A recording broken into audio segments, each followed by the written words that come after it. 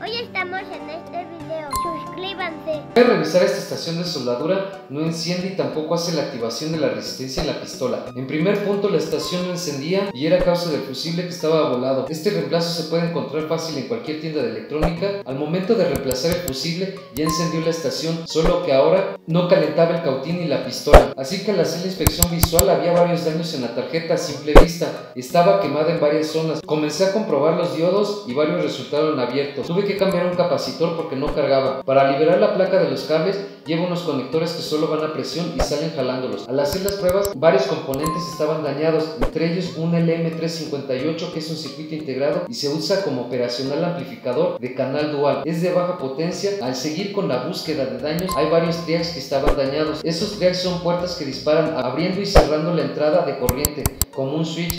Son de 8 y hasta 12 amperes. Se miden en la escala de diodos los números que cambié fueron el BTA12, el TRIAC BT136. Estos usan un disipador de calor. Para poner los TRIACs nuevos, en mi experiencia creo que es mejor poner el disipador en el TRIAC que se va a reemplazar. Este va atornillado y por la parte trasera se le pone una pequeña tuerca. Al revisar la tarjeta también había una fractura en la pista negativa que fue por el calentamiento en exceso. Allí solo se le hizo un puente, así que tuve que cambiar otro transistor con la numeración TIP 122. En resumen, todos los componentes que se cambiaron fueron diodos con número IN4001, TRIAC BT136, BTA12 que van asociados a un regulador de voltaje. Se encargan de regular el voltaje que alimenta el cautín y determina la temperatura. Cuando se daña uno de estos componentes siempre es mejor cambiar los que están asociados y no olvidar de revisar los diodos y condensadores. Entre sus características es una estación de soldar sin marca similar a la Baku. Sus dimensiones es de 25 centímetros de ancho por 23 centímetros de alto y 24 de largo. Tiene un peso de casi 2 kilos, la tensión nominal de entrada es de 110 volts, la potencia de salida es de 500 watts el volumen de aire se puede regular hasta 120. La pistola cuenta con una resistencia que es la que genera el calor y el aire caliente es generado por un ventilador que está en el interior de la pistola. Cuenta con una pantalla de temperatura digital en color rojo. Pistola tiene un sensor magnético para cortar la corriente que se activa al quitar la pistola de la base. Solo el cautín es desmontable. El rango de temperatura del aire es de 150 grados hasta 500. La temperatura del soldador es de 200 hasta 480. Tiene cambios de punta para soldar con el cautín. Hay tres boquillas para la pistola de aire caliente con medidas de 6, 8 y 12 milímetros. Tiene incorporada una base para la Te invito a que en la caja de los comentarios me digas si tú has probado alguna de estas estaciones para soldar o has tenido algún problema similar.